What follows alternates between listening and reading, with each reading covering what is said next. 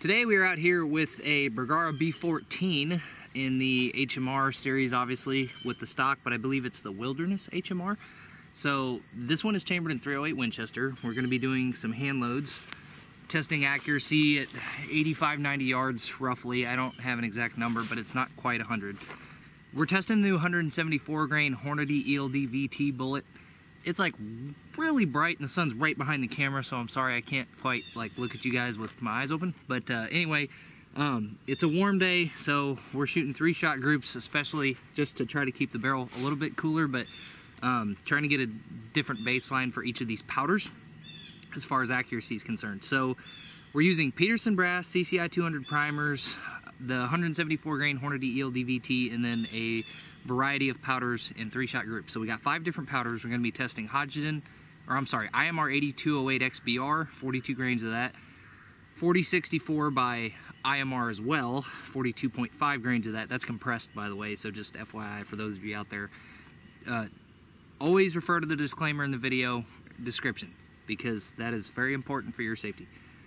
We're doing 43 and a half grains of Varget, 41.5 grains of Vihtavuori N140, and 42.5 grains of N540. And for those of you that don't know, Hodgdon makes Varget. So that's what we're going to be testing for YouTube's little disclaimer. This is a bolt action rifle, five round magazine, safe range, private range. Um, everything is made to be very safe and whatnot. So anyway, now we will go ahead and commence the shooting. I'm going to be starting with the IMR 8208 XBR, 42 grains of that. We're gonna do three shots.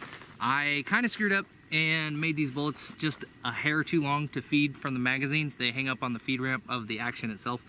So I'm gonna have to single feed these. That's that's my bad. Um, I uh, had fully intended to just use a metal magazine without a binder plate and forgot to check to make sure they actually clear the feed ramp. So that's 100% my fault, but single feed is not a big deal. We can always change the, the uh, seating depth later and make sure that it's still to shoot okay, assuming these shoot at all. So, all the equipment and information on the gun, the ammo, the setup, everything, it's all to be in the description. So if you're curious about every aspect of the way the rifle is set up, by all means, look in the description, please, to save us some time in the video. So we're to go ahead and start with that 8208. Um, we're to go for the top left diamond on the target here. I've got some shots on the target already. That was this gun, and that was these bullets, we were trying to get the gun roughly sighted in so that we could stop on the, or start on the top of the target here and not just completely be off paper. So starting with the first round here of the 8208 with 42.0 grains.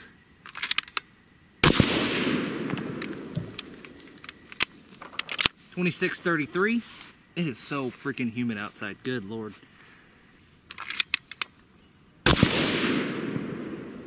Wow, Accuracy to start with sucks. It's 26-29 on that last shot. 26-35, so super consistent velocity with that powder, but horrible accuracy. I mean, absolutely horrible. Extreme spread of 5.9 feet per second and a standard deviation of 2.4. Stupid consistent velocity. It's a shame that they didn't shoot worth a ding dong on paper because that was that was awful. Um, we're going to move on to the 4064. We're going to be shooting 42.5 grains. It was mildly compressed. Um, remembering when I loaded these, and these bullets are seated out obviously too far, so I would not suggest loading to this just because I'm pretty sure it's too much powder as far as we can't squeeze any more in the case and the bullets are seated out past mag length basically so wouldn't recommend it, but they're already loaded. We're gonna shoot them. Um, I'm not too worried about the barrel being warm because that's what we sighted the gun in with was that powder and these bullets, and uh, it didn't seem like it really liked them either. So we're gonna go ahead and shoot these suckers, give the gun a minute to cool off, and then we're gonna try the Varget after that. We're gonna be going for the top of the center diamond on this group.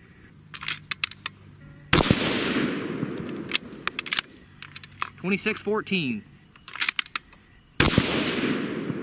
Holy crap, these things are shooting horrible. 26-17. Velocity's really consistent. What are the odds? Oh, that sucks. 2607. So the velocities really aren't that bad as far as um, they're consistent, but they're like just wildly inaccurate groups. Um, extreme spread of 10.4 and a standard deviation of 4.4. That's like stupid consistent velocities. I just wish these bullets were actually grouping. So we're gonna go ahead and turn the cameras off for a minute, let this thing cool down because it's probably decently hot at this point and uh, we're gonna come back and shoot these next groups. Okay, so we gave the rifle plenty of time to cool down. Now, in saying that, I just felt the barrel and it's still like really warm. Um, but it's like 90 some degrees out here, so I don't think that cool means cool anymore. I think cool is just not flaming hot. So if I can touch the barrel, it's cool. Point is, we are going to shoot 43 and a half grains of Varget right now, regardless of the fact of the barrel not being cool. But we gave it quite a while. I actually went and did some other stuff for a good amount of time and then came back and it's it's still hot. So um, not an ideal day to shoot, but we're gonna work with it because it's what we have to work with. And you know, God's plan is bigger than mine. So we're gonna go ahead and go for the top right diamond. We are shooting 43.5 grains of Varget. And we're going to try to quit shooting two inch groups because that just makes me sad. 2606. 2604. I got a bald eagle flying over me right now. That is like the coolest thing I've seen all day. Golly, I just, for some reason, I just feel like this gun doesn't like this bullet. Couldn't tell you why. All right, part of me thinks uh, I should just give up and go home and cry myself to sleep, but we're not gonna do that because we're more determined than that. Um, the velocities. On that last one, it was 2611. The session summary was an extreme spread of 7.3 and a standard deviation of 3. That just blows my mind that they can have that tight of velocity and that horrible of a group on the paper. Just crazy. So we're gonna go ahead and jump right into the next one, even though I probably shouldn't, but at this point I just kind of want to be done. Ah. This is classic 308 performance for me. Just underwhelming, because normally they just don't shoot good for me. Anything 30 cal, really. Doesn't even matter what cartridge. Just it's got 308 as the bullet diameter. Probably not going to shoot well. That's just kind of my life. So we are going to be transitioning on the target to the left side of the center diamond, and we are going to be shooting 41 and a half grains of Vihtavuori N140, which is on the burn rate chart very close to Varget. Um, not that that matters at this point because we're still shooting that same bullet, but we're gonna give that a shot. Left side of the center diamond, let's just see how it does. 2533, that's quite a bit slower. I tell you what, I don't know what it is about Vihtavuori, but every time I reference their load data, everything's always slower. It's like they just, they don't, they don't consider the same max as everybody else, which is fine, because you know what? The less people blow up their guns or ruin their guns or whatever, break parts, the less the better. But I just, they're never, seems like they never match up to any of the other manufacturers' published maxes. velocity still sucks. Or the, uh, sorry, not the velocity, the uh, accuracy still sucks. 25, 22. Let's hope I don't hit this airplane. Two in one hole, look at that. Only the first one didn't go two inches higher. 25, 32. Extreme spread of 11 and a standard deviation of five. Excellent. Just not on paper. So I am going to give the gun a break against my better judgment because at this point I think I should just shoot the last group and call it a day. But we're gonna give the gun some time. I'm gonna let it cool off. We're gonna do the same thing, shut off the cameras, and we'll be back. So against my better judgment, I have let the rifle cool off in order to prolong the suffering of the viewers, which is you. That sun is stupid bright, oh my goodness. Um, we are gonna shoot this last group, and it's going to be 42.5 grains of Vihtavuori N540, which should give us a better velocity than the 140 did in theory, but we'll see if that's true. Doesn't matter if it's, uh, you know, two or three inch groups, that's not something I really care about. Got this song stuck in my head that's like really getting on my nerves because I can't think of the name of it, and that's always really frustrating. I don't know why that happens so often to me, but it's probably because I don't know the names of half these songs anyway. You just kind of know the tune. I'd sing it for you guys, but I, I don't actually want you to quit watching, so I'm gonna I'm not gonna do that to you. But we are going to put this last group on the right side of the center diamond. 2572. So the velocity was a little bit faster, but it's not even over 2600. So it's still slower than I think all the other ones that we did with the Hodgdon and IMR powders. 2591.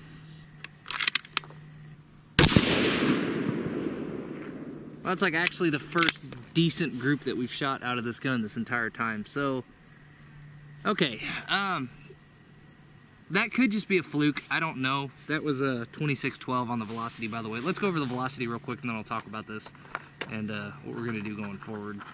Okay, so the velocity spread on that was 39 feet per second extreme spread and a standard deviation of 16. Now, here's the deal. I just tried five different powders, and all but one produced roughly two inch, probably over two inch groups. Three shot groups. They were shooting horrible. Now, I would have to change the seating depth on these loads anyway because they were too long. And uh, conventional wisdom, which I do not follow, mind you, I'm not saying that this is advice I'm giving you, but conventional wisdom says closer to the lands, the more accurate they'll be. That's not true. But the point is, that's kind of what everybody tends to believe.